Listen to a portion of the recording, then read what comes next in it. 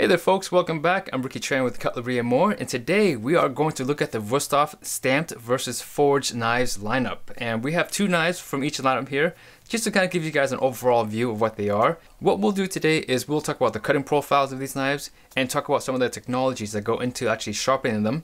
And then we'll look at the handles and talk about the kind of the pros of why each handles are made the way they are. I'll go down the line from my left to my right, give you guys some of the basic specs of these knives, and then at the end I'll do a comparison and kind of show you guys what to look for if you guys were considering one of these knives. So on my left we have the classic icon with the creme handle. Now this knife here has become a very popular knife in the Wusthof lineup. Now one of the reasons why they are becoming so popular is because they are one of the most comfortable knives to hold.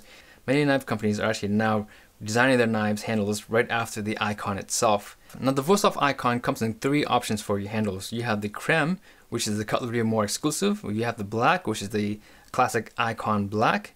And then you have the blackwood, which is using a hardwood for its handle. They all utilize the same great high carbon German stainless steel for their blades, and they have the same profile and shape for their handles. The only difference is they have different handle materials. Next we have the Wusthof Classic. This is the original Wusthof that we all have come to know and love. It is a line that has been in the Wusthof lineup since the very beginning. It offers the largest selection of knives available in the Wusthof lineup. Now if we look really closely here, the profile is very similar to the classic icon. The only major difference is you have a full bolster here versus a bolsterless design or a tapering bolster on the classic icon. Now because the full bolster comes down to the very edge of the knife's profile, it adds a level of stiffness that a lot of people appreciate.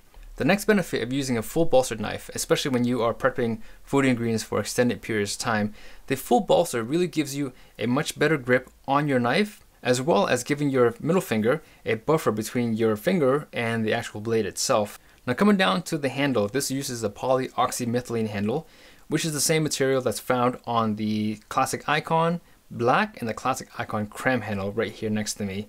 Now POM handles are great, they're very robust, they are stain resistant, warp resistant and heat resistant. Now coming back to the handle, you can tell that this is a full tang knife by looking at the silver lining right here on the center of the knife all the way up to the front of the handle. Now full tang knives are preferred by many because they give the knives a much more heftier and substantial feel in their hands. You feel like you have more control of your knife and the knife just has a better connection with your hands and the cutting board. Now moving over to the first of the stamped knives, we have the Wusthof Gourmet. Now, if you look very closely here, the Wusthof Gourmet looks very closely and resembles the classic, pretty much in overall profile and handle design. But if you look even closer, the handle is actually a plastic handle versus a polyoxymethylene. And the blade is stamped even though it has the same overall profile as the classic.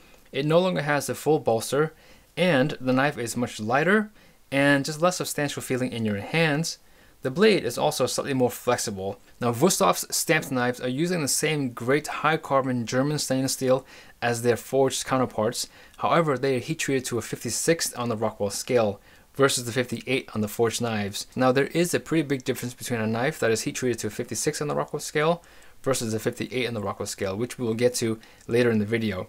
Now coming down to the handle, from where you're sitting, the handles actually look very similar, and they are in terms of overall shape but we are now using a plastic handle for the material versus a POM handle. So if you look very closely, the tang actually comes down to the end of the knife, but it doesn't come to the front of the handle. So that makes this knife a little bit less substantial in your hands. It feels a little bit lighter in the handle area, as well as the blade itself is also lighter than a forged blade. Now even though the Gourmet's handle has the same basic profile and shape as the Classic's handle, it's nowhere near as strong. It doesn't use the POM resin as the base material, and also because it doesn't have the full tang, it doesn't have the same support throughout the handle as the Classic does. Now because this is a stamped knife, you no longer have the bolster. However, Wusthof has decided to actually make their handles come higher up on the blade, giving you an effective bolster, kind of a tapering bolster in itself. Overall, the handle is very comfortable. The knife does feel nimble because it is very light. It just doesn't have the same substantial feeling in the blade or in the handle area as you what you expect or, or are used to in the Wusthof forged knives. However, just to be clear, a stamped knife loses no functionality relative to a forged knife. Now because this knife doesn't have the forged blade, the POM resin for the handle as well as the full tang, it does feel lighter in the hands, so in the hands of a professional who are using these knives hours and hours on end, this is actually preferred for some people. So the Gourmet is essentially the Wusthof Classic in a more affordable package. Now next we have the Wüsthof Pro. Many of us, myself included, when we hear the word pro or professional, we automatically think it is the best. But I want to encourage you, instead of thinking best or worst, you should think about intended use or intended demographic. The Pro line and the Gourmet lines are actually intended for people who are in the professional restaurant industry, working world, where they are cutting food all day long and they require knives that are simply light and affordable and that just simply works in their line of work. So the Wüsthof Pro was actually made for a professional who works on a food prep line day in and day out. Again, the blade is a stamped steel, heat treated to a 56 on the Rockwell scale. Now the handle on the Pro line is different than what we have seen. The material is called Santoprene. It's very grippy. It gives your chefs and your working professionals a very good grip on the knife when you're cutting things like chicken and just greasy foods and you don't have time to rinse the knife after every use. You also have a very aggressive end cap, which is designed to keep your hands from slipping off of the knife when handling very greasy and oily foods. Now if you look at how my fingers just naturally wrap around the handle and how my thumb falls directly on top of the spine handle area, this is allowing me maximum grip as well as allowing me to apply maximum pressure to whatever ingredients I'm actually cutting. This knife really is designed from the ground up or from tip to tip to be used by a working professional it offers what the professional would want, something that is affordable, something that just simply works, and something that keeps their hands from slipping when they're working with greasy ingredients. So now the question is, which of these should you consider if you are looking for a new set of knives? All of Wüsthof's forged knives are being sharpened with a technology called Precision Edge Technology, or PEtec for short. Essentially, every single one of Wüsthof's forged knives are being custom sharpened. Precision lasers are used to measure and calculate the exact angle at which every single knife is to be sharpened at, and then precision robotic arms actually sharpen the knives using whetstones.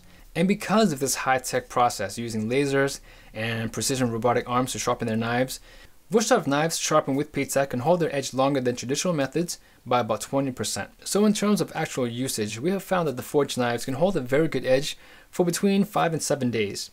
And for the Gourmet and Pro series, we are finding that our professional customers are honing their knives between every day to every other day. Most customers will be better served on your forged knives.